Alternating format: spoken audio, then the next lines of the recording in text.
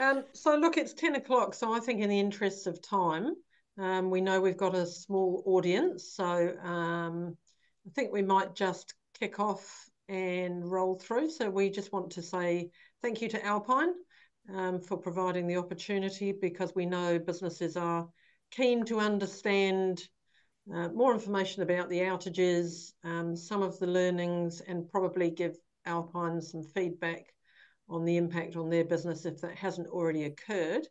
Um, so my role pretty much from here is to welcome Andrew from Alpine, acknowledging he obviously is unwell and now unfortunately COVID. Seeing as you've announced it to the group, I think I'm comfortable in saying that.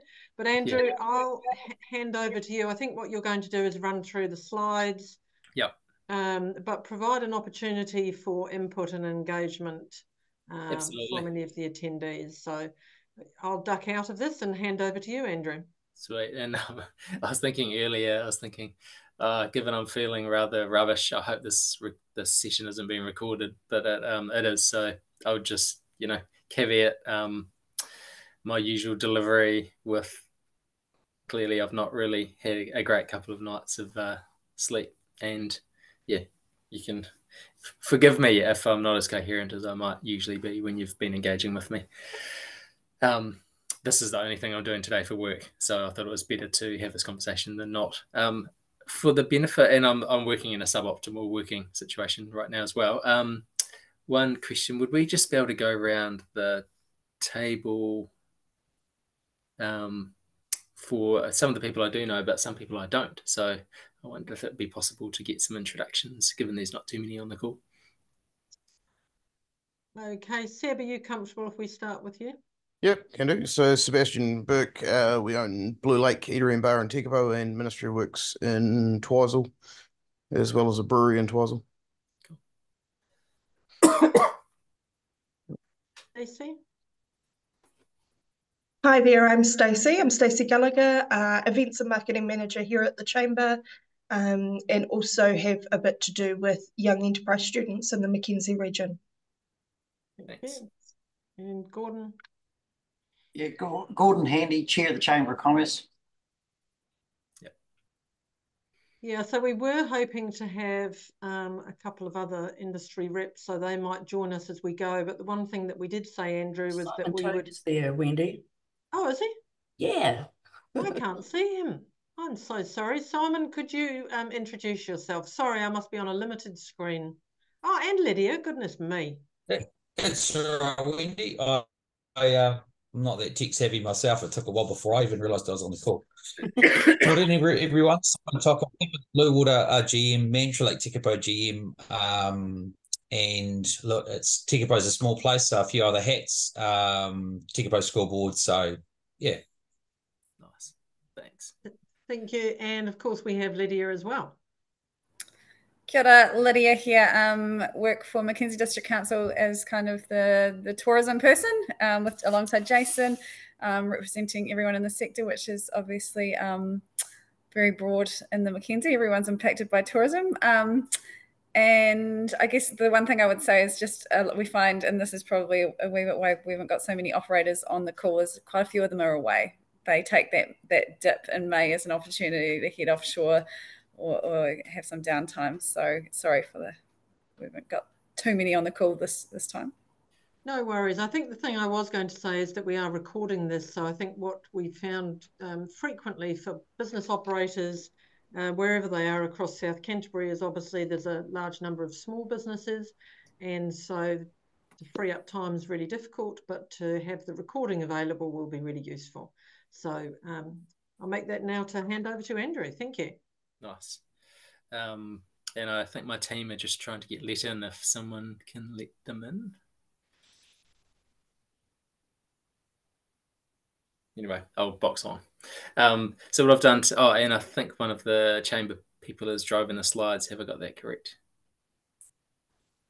Yeah. Cool. Yes, you have. Yeah.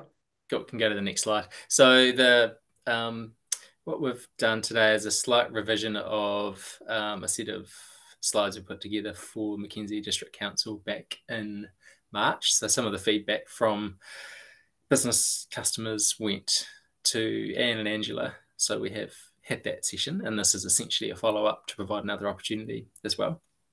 Um, uh, it's more than just the transparent from last year, though. I thought it was worth touching on actually a broad range of things so then we can pick and choose what's relevant. Um, super happy to, in some ways, skip through and go back um, again because it's online and it's public information. We don't need to necessarily dwell on it. I'm happy to tailor the session to people's interests um, and maximize people's time for the day. Um, so it might be that other topics is the more um, and Q and A is the the more fruitful um, part of the session. Next slide, please. So I thought, as always, it was worth touching on just where Alpine fits in to the overall value chain and supply chain of electricity. Um, even in a conversation with um, some customers recently, there's still, I understand, confusion about the role of retailers and distributors and assessing um, assessing price or price plans and, and how to switch and who does what. Um, so I've included this here just as a reminder and in some ways an opportunity for anyone to ask um, some sort of question. I realize because we're recording this that actually sometimes stops people asking the um, questions they might like to ask. So um, that could be something we do later if we stop recording um, on the Q and A. Then people can ask any question and um, know that it's not getting attributed to them. Um, but the key key point is that uh, Alpine is a distributor and we are regulated by um, a regulated monopoly. So we're essentially a cost business, which can, gets relevant to some of the discussion we might have later. But are there any questions on just the overall value chain and where Alpine fits in? Cool. We can go to the next slide then.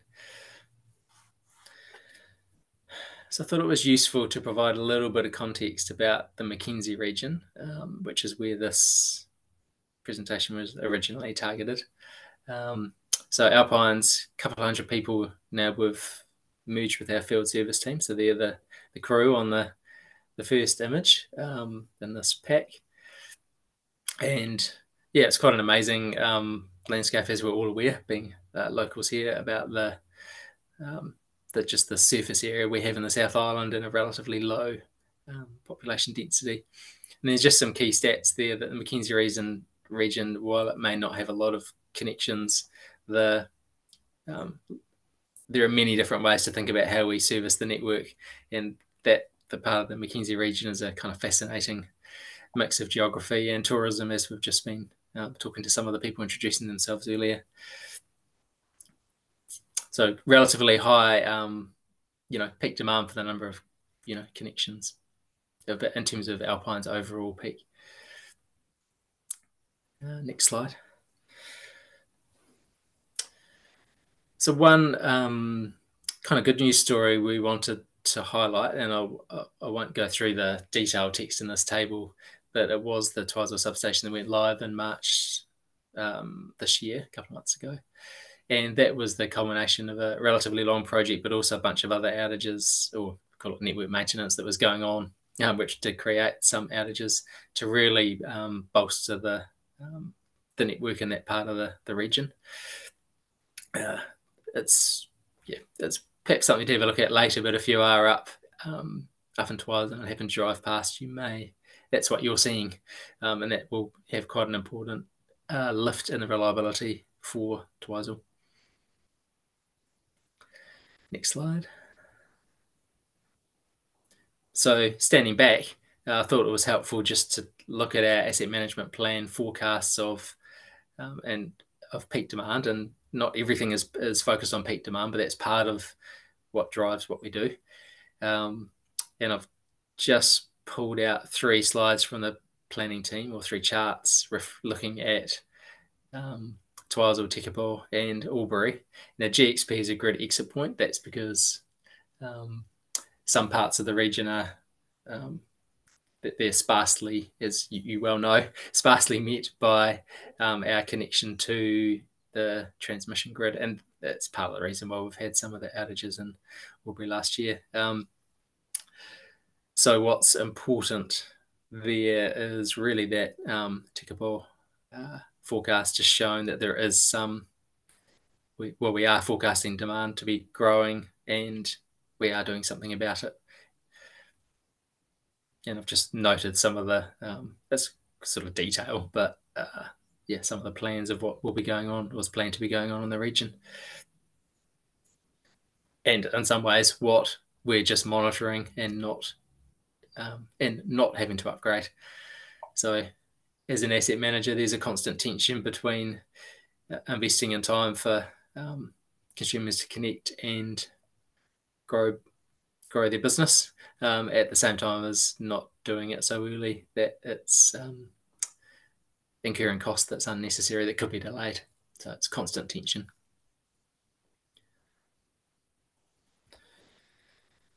Okay, you can go to the next slide.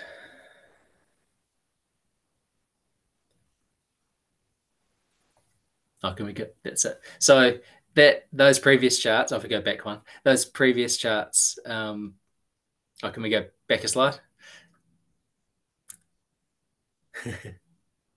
Slide. Oh, I don't have the number on me.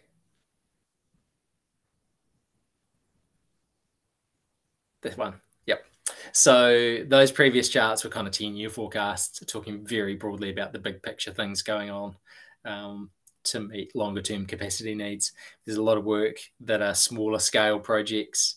Um, and at the end, end, of the day, we get down to um, uh, replacing poles and, and cross arms you know, in particular regions of the network. So you've got this, this sort of real longer term capacity planning down to just network maintenance itself. So I've included on this page some of the kind of high level nearer term plans and where those where that activity is on the network mainly um, just to let you know this is the kind of thing we do day in day out um, it's my perspective is it's the sort of thing you you would not need to know about, and if it was affecting you, you would know about it. Um, but part of our we've, we've had feedback from our surveys that um, customers are curious to know more about what we actually do and what we're doing on the network. So that's one of the reasons for including some of these smaller projects, um, little portfolio projects um, in this list. So when you're thinking, what's Alpine actually doing, then you can see for this year, for example, we've got those four projects um, going on in various parts of the region. And that's just, this is just a subset for um, the region as opposed to the entire network. Cool. Next slide. Right. So this is why um, we we're possibly here. So the context for um, for this is last year there was a three day, essentially three day outage, three times 12 hours. Um, I think when I've checked the controllers, that's the first uh, or the last time there was a three day outage on the network that was maybe a decade ago, even longer. Um, that was a result of one of the reasons for it is we, the, there were not outages in previous years. So Transpower has to do the, the work. It's just a case of how it gets scheduled through time. Um, and the very clear learning was that um, shorter and more frequent is preferred to deferred. It's that first bullet point. Um, uh, yeah, it was very clear that um, our management of how well at working with Transpower, but our management of communicating and helping sort of all customers and businesses work through that three day outage was um, inadequate for the it's that persistent duration that was a problem. Um, and we are, I think the bottom one's important. We're, we are developing information um, to assist customers who want to use backup generation. I mean, that, that applies day in, day out. It's not just for the upcoming outages, for the upcoming outages. So um, that's something we know would be helpful. So I might pause there, oh, and we've obviously shared some information on the um, you know a more detailed version of this material on the Chambers website, which I've just put a link there. But I might pause here to see if there's any um, feedback or questions specifically on the outage last year. Okay, so, so can I throw that open specifically as well to the businesses for some feedback and commentary about that? Yeah, Andrew, Sebastian here. Our question around that is what's, I suppose, the process or decision making process around the timing of the outages? Yeah, so I've got that. Um, that's well, you get a little um, view of that on the next slide. But essentially, Transpower come to us in around February, March with their proposals for when the dates might be when they're looking to do the work. Um, and we look at how that sits with the network. Um, and you'll see an example of the information provided um, on the next slide. Um, it's as simple as that. And then they sort of finalize a month or two later, and they're doing that across the whole country. So they're trying to max, manage their portfolio of maintenance across the country. And then they just sort of lock that in, lock that in not long after. And then it, that's that's that. And that's one of the reasons we um, we're engaging with the council. And I'd be interested to have get your views when you see the next lot of um, dates where just to go what things could be considered because the the outage has has to happen. They've got to do their work. It's just a case of when, given yeah. safety, temperature, all those considerations. But that's the overall process. They lock it in. Draft sort of Marchish. I think we got the information early March, and then they um, come back to us a little later with the finals. And Andrew, um, Lydia here from Tourism. I just wonder if you know that sounds I'm thinking ahead for future processes. If there's like a um, a business engagement circle that we could have to even socialize yep. some of those, you know, inserting that into the process so that businesses are directly engaging with you, um, and obviously with the chamber involved as well, just to have that business input into it. I think um, absolutely, yep. yeah, in the future, that's what I'd I'd love to see. Yep. So essentially, it would equate to some sort of um, preference, you know, all, all participants in it, whether it's businesses and households as well, possibly, if, if you believe you're comfortable speaking on behalf of households too. Um, that's why we went to the, the council to be fair first, because we were looking for a broad church of, um, it, we didn't have much time. So the, the minimum viable product was to get at least discuss with the council on like, here's what's in front of us. Have you got any feedback? Um, as a as a first pass. But yeah, I agree. I think getting um, a, a, broad range of customer views on what an appropriate date would be, because it's some of these things can sit inside school holidays. Um, yeah, there's a b- bunch of different considerations. Simon, do you have any comment about that from your business perspective?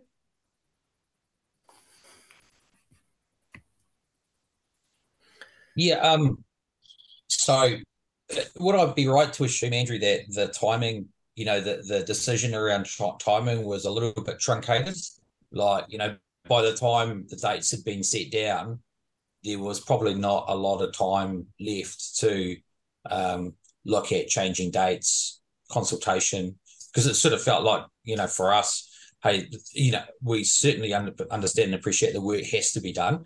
Um, but it sort of felt like when when we'd initially gone back, it was sorry, too bad, so sad, but this is happening. And we went, well, look, okay, but do you understand fully the ripple yep. effect, excuse the pun, that it'll actually have on some of us in Tekapo?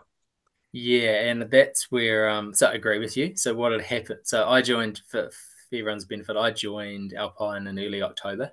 So that was when I first heard of. Um, I had a similar thing of like, oh, where did that come from? Um, which rolls back to what I was saying before. It was I think because it was almost rolls back several years because the previous years had been deferred. There was, well, yeah, it's a little option. There must have been still been some flex for whether how the three days were going to happen. Um, but I just I think that is a miss on Alpine's part to have back in March of last year to not have gone. Hey, we get that we've deferred for three years. Happy days for everyone. Uh, if we're going to do this three day gig, how are we going to manage that? Um, so you are correct, and it can be could be better for sure, mate. I'd also I'd also thank you. Um, I'd also like to understand how um, decisions that sit in behind who gets backup power are formed. like and and again i appreciate that you know these essential services and cbd and things like schools and that that need to be powered which is cool um obviously from a and i'm just speaking from a peppers blue water standpoint yep. um we were at a you know a stage of occupancy where we couldn't afford not to have power generation through that period from an operational standpoint you know we've got guests coming and going on any given day, we can hold over twenty thousand dollars in stock in our restaurant. So you know we've got refrigerated food, we've got you know frozens that we've got to look after. So um, and and you know we were fortunate through our, our own uh, power supply that we could source some generators ourselves, but it was a cost of about eleven and a half thousand. So you know it's we are a twenty to thirty thousand dollar a month consumer. So we we consume a fair bit of power. Um, but you know we could not have supply. So for us, you know, it, it, was a cost we had to absorb. But you know, I'd just be keen to understand, you know, how the backup power is, you know, sort of distributed. Mm. Uh, I think the short answer is it's complicated. So I'll explain why. That um, one of the issues we have is actually the practicalities of working out where and when we can safely connect, disconnect to coordinate with the specifics of the configuration of the network. So one, you've got sort of the practicalities of people and generators and just connecting, disconnecting and coordinating that entire wraparound, call it service. Um, so there's a lot of compromises on working out what a, what a it's not necessarily cost effective, but what a um, pract- practical outcome is there. Um, we did we do have a handful of generators, but we do uh, overall policy, and that can be changed, is to focus on those essential services um, as, a, as as opposed to anything else. There's a um, worth keeping in mind. Essentially, if we, like I said earlier, we're a cost business, so any um, and really up for a discussion with the communities about um, the extent to which we provide um, services to specific customers that are paid for by other customers effectively because that's what it translates to so um, yeah the way you could think of it is the had we pay the 11000 for generation that might not have been something one option would have been we just charged you for that um, hmm. or another option would have been we just spread that cost across our customer base so that's the that's essentially what we do day in day out um, so, uh, but my, my understanding is that we had um there was backup generators that, that came in to, to support CBD in Tekapo. Um, yep. Seb, I can't you know can't recall um whether there was impact to you know bars and restaurants downtown. Um, and I don't know if there's anyone from Tekapo Springs on the call, but they would be a far larger consumer than us. And my understanding was that they had to go into backup power for the day as well. So their cost to their business would have been quite significant. Yeah, Exactly. So it's bang for the buck around that practicalities of how many, because some customers are you've got essential services along with businesses on the same feeders. So that's fortunate, um, as opposed to necessarily closing off. You know, trying to specifically select who gets what. So these that that comes back to that practicalities of the network configuration at the time. So it is a um, it's a constant judgment call where there are boundaries and um, we just we face that each time of of doing our best to make that trade off. Yeah, I think we had um, generator power for that because of the CBD thing, but it, our biggest issue around that was the transition times. Um, because the transition times were put right in the middle of prime service times. So something like I don't know three to four or something could have been like probably less less effect uh, on people than um than say six till seven, but and that's an example of the practicalities, right? Because we're trying to work around the Transpower outages. Providing power means kind of working inside that envelope. Yeah. Yeah. Andrew, Andrew? Rob from um, Hermitage. G'day. Uh, yeah, look, for us, whilst we have generators, um, we, we actually had that one of our generators operating for quite a long time and and uh, it developed a fault. So um, you know, the, the, the period of time would be our preference is a shorter period of time. Yep. Appreciate those essential services uh, potentially need to get power. One of the biggest problems we had also was around comms. Um, we now switch over to Starlink, but um, I'm not sure if uh, um, some of the other business partners have that opportunity to do that. So, you know, if cell tower, if cell phone towers um, are going to run out of battery, um, that's something you need to factor in. The other thing is, and I appreciate it's it's it's complex and you're having to to, to deal with uh, they're having to deal with big things, but you know, can some of this work be done um, out of hours? to spread, you know, to spread it, to lessen the impact, I guess, on, on a lot of operators. Yep, and that does get talked about and has its own health and safety um, trade-offs as well. So, yep, aware of that. That it all, we always ask the question. Yep. Sorry, aligned with what Rob is referencing um, from a timing perspective, the out of hours, but also the seasonality. So to try and move it out of the peak operating season. Absolutely. Um, how does that sit? Uh, yes, again with Transpower, the idea is to get it out of the season, which is why they're in October. I think planned for October this year, the one day. That's um, that's a busy period for for a lot of operators. October now, you know, um, for, for for us, you know, this, that that has a huge impact. Yeah, I think the the catch is it has to be um, I, I think the question is: Is it would it be better in November or December or January? No, mm-hmm. that's the so the trade off is because it has to be because um, of the the climate conditions has to be acceptable for them to do the work as well. So that's one of the reasons we're waiting for it to get, I believe, to get warm enough. That's the earliest point where they can get the work done and be less disruptive from Transpower's perspective. But that could be something we um, I take away. I hope one of the team can make this note because I'm not taking notes. Sorry, um, that we can go back to them and just say, can this be done in the middle of winter? Or um, or May. Would you? I mean, if you had your month of choice, what would it be? Would it be? It would be May, wouldn't it? May, June would be it. Typically quiet months. So, and I guess May, in terms of the climate, is warmer than um, June um, typically. So if we had if we had a choice, it would be May. If, if tourism had a choice. Do you have any views on um, other customer preferences on timing? Just conscious of um, home heating and things. Yeah, Ag- agriculture, I guess, would be the other is the other primary sector, and I'm not sure. Raewyn, what are you? What's your gut feeling? I think everyone's just a little bit different, um, different times. I, I probably, um, obviously, it can't be in certain parts of the year because of the really cold weather, which I guess would um, be a barrier to Transpower or Alpine Energy. But um, yeah, I guess if there was, I don't know. Yeah, I'd like to, you know, like to that May on each side of winter, if that was at all possible, I guess.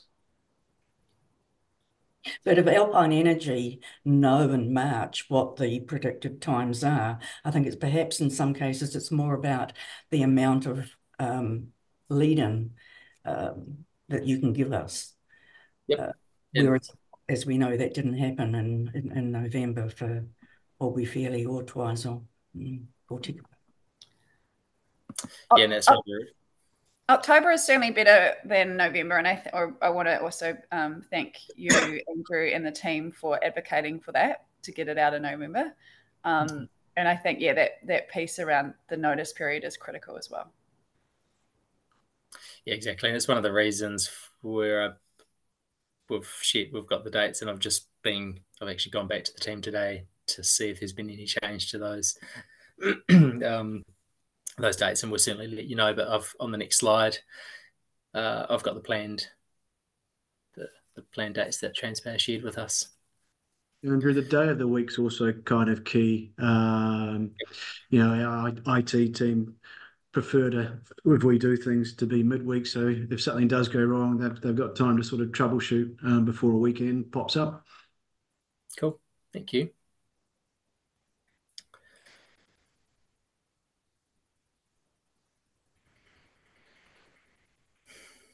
Yeah, so if we jump, oh, happy to. Are there any more some very useful feedback there that I think can help us help our engagement or guide our engagement with Transpower next time, um, and in particular when we get that set of days.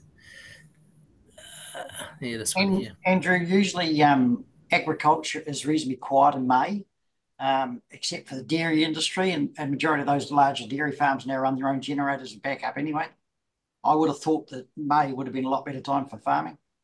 Yeah, but uh, like I said, but interesting to talk to Transpower to see what um, if there's anything guiding other maintenance schedules around the country that we can, um, yeah, definitely go back to them next time. That could be quite a fun engagement. So what I've put. So, um, sorry, Andrew. The, the, the, other thing is, aside from rogue snowfalls, the um, the weather seems to be more settled in May, and you, you have less winds. I think a lot of their work's inside. Um, but yes, in terms of overall impacts, I agree. So on the slide here of just the, the call out box on the right hand side um, is making a note that they do a, a, heap of maintenance on our part on our part of their network that we don't see. Um, so I've not included a whole lot of, of, planned maintenance that has no impact, but it's important to know uh, they work around that to the extent possible.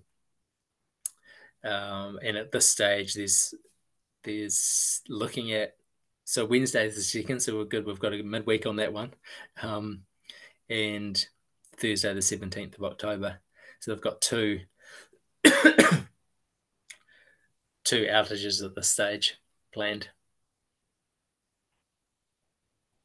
Hi Andrew, yeah, they're still quite decent outages. I'm just you know obviously looking at Tekapo, but um, seven thirty in the morning till six at night. Um, that still has the ability to provide a, a fair bit of disruption to um, our business, in particular, anyone who's you know got refrigerators and freezers running. Yeah, I mean these date these dates and times are from Transpower, so I wonder if they're like a maximum window. I'm sorry, I can't hand on heart speak for them, um, and I, wonder if there might be a benefit getting one of the Transpower team to talk to how they manage their outages on the day and what they need to um, to do and manage for for your benefit, everyone's benefit, to have that clarity on why they try and get it done in a day as opposed to two shorter sessions over two days. Um, but that could be something. Yeah, look, as we touched on, sort of our preference would be um, a bit shorter. Look, if it was over two successive days, but it was maybe from ten to four. Um, you know, I, I think you know many of your operators would probably find that just a little bit more sustainable. Cool. So, Andrew, is that something that you can talk to Transpower about? Yes, I not we can, and I'll come back to you whether there's any ability to change these ones, and i am waiting to hear back to get confirmation about um, these two dates as well. But we'll also see if there's any flex capability.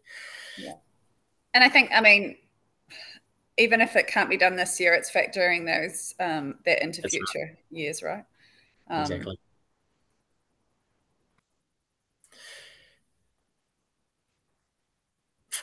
Um, one thing, I, the second bullet point there is just um, just wanted to highlight we do where we can take advantage of Transpower outages to overlay with our own.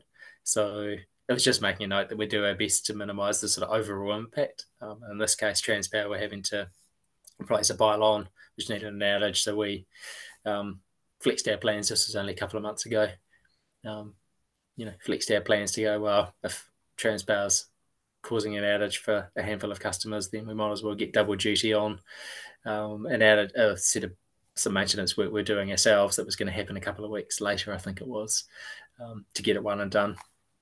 So I think it's just highlighting where um, always is kind of the purpose of this call. Really, we're always looking to make it better and getting the things we know we can do, um, and then getting your feedback today is certainly going to put us in a better position for the next engagement with Transpower, and certainly um, we're managing projects internally. If we go to the next slide.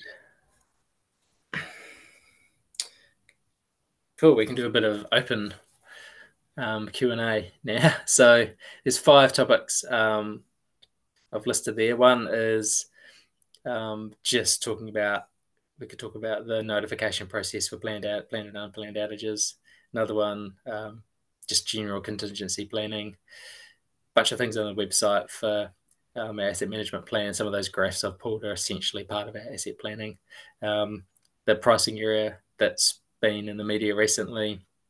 We've got an extensive FAQ on our website, which is a good place to go for general questions. If um, when I hear people often talking about it, I think, oh, that, there's an answer there. Um, so it's a good place to go, but also happy to talk about that today. Um, and then crucially, um, thinking back to those charts I showed earlier about um, long-term demand, uh, one of the reasons I'm in my role is to help build out our capability and engagement with the likes of yourselves on what your plans might be, because we build and maintain the network to meet your needs. So, really keen to um, just get on the radar for yourselves that if you're thinking of um, making changes in your business that increase or reduce electricity demand um, or generation, I'm very keen to be talking.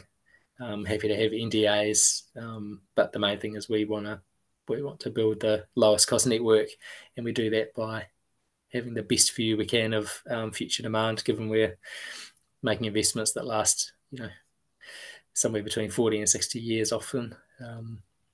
That's the that's crucial for us. So we are engaging quite deeply around the Timaru CBD on a lot of um, developments here to make sure we size and time the network appropriately, uh, but equally applies, as you would have seen from those chart little simple charts earlier, to what we do up in the Mackenzie country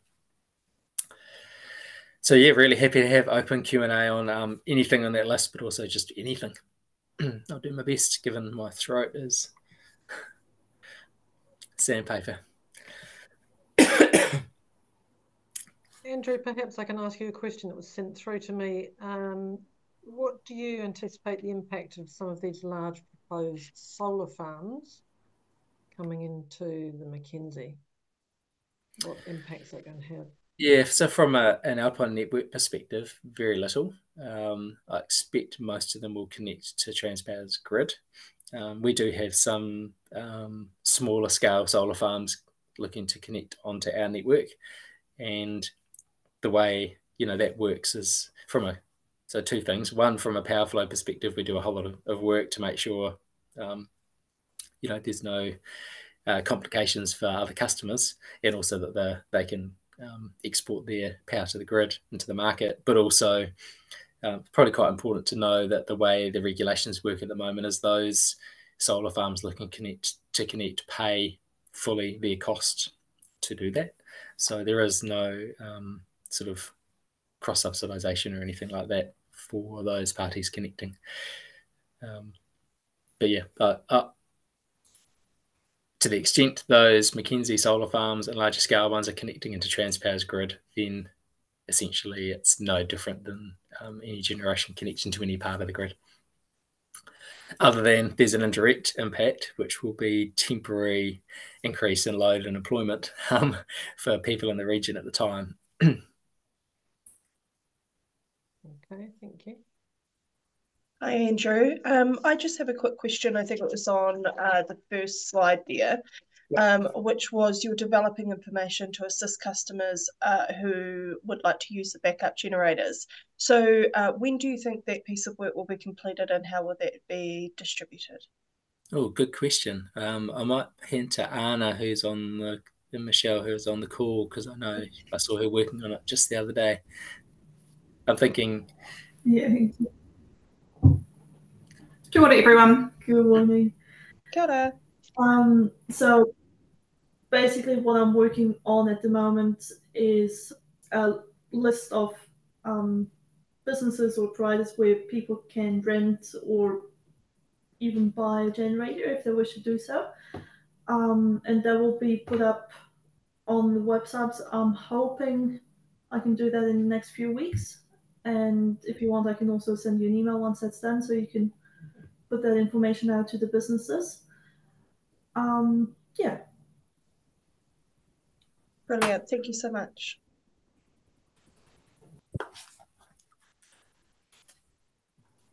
Other questions from anybody on the call? Um, Andrew, uh, Lydia here from Tourism. Um, just following this call, would we be able to um, get a little bit of an update around the process in terms of when we can engage maybe that business reference group and the community reference group and just make sure that it's quite formalized yeah. because yeah. I, I, think, I mean, thank you first and foremost for having this call today. And um, I just think it's a start of greater engagement between um, the community and business. So. Yeah, no, no, it's um 100%. So I will, I'll leave that as an action with us. I'll come back once I've just checked with the, the ops team to see what clarity they can get um, and to make sure we get looped in on that um, that information set. And 100% it'll be there's two parts. One is I'll, I'll we'll get information on the process Transpower's using, and then we can work out how the how we we um, yeah. sort of can interface with that and what our time timing options are. Yeah, cool, awesome, and um, and then also just like a commitment to I guess engage as much as you can, you know, X amount of months in advance to any outage, I, I guess, so that we kind of have that understanding of, we appreciate can't always happen, but, you know, best practice, we, we're giving at least three months notice, I guess, to businesses. Yeah, to the, yeah, where there's flexibility for sure. Um, and often there's um, the plan stuff. Yeah. Yeah. yeah. Um, Seb, Simon, Rob, have you got anything to add in there? Because I know we're, we're wanting no, I think for us it was just mainly around the timing. Like the outages have got to happen, but it's a matter of when. And then, like I suppose for us, we're fortunate generally that we fall onto generator power, but it's that transition period over is for, for us is usually at the our peak time. Yeah. Uh, and so it's like I understand looking at different transition times or something, and yeah. It's it's yeah for us it's losing all those like losing it all. And i don't in, in some ways generators for us personally are well not not a great investment. Um no. because of the amount of load we have at peak versus what so trying to cover that would be um quite costly for um for short period of time. business yeah. to cover one day a year. Yeah. Yeah i understand yeah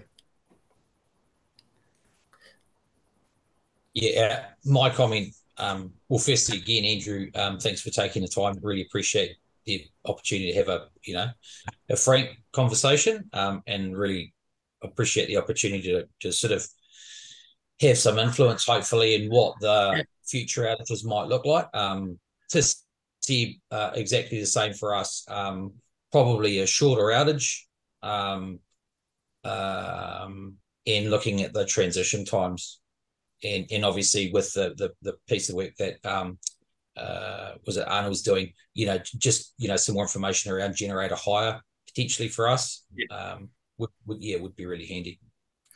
Yeah, so it's I think it's worth um, I think Lydia and you've all picked up on this is we are looking to uh, sort of advocate for you, but by us understanding as well as we can all the different trade offs, but what the clear issues are that rise to the top, we can then help the business consider all those things. So thanks again for everyone just being super clear about what's important and what's not, because um, that's essentially what we're trying to do and what our day job is and what floats our boat is helping you all be happier.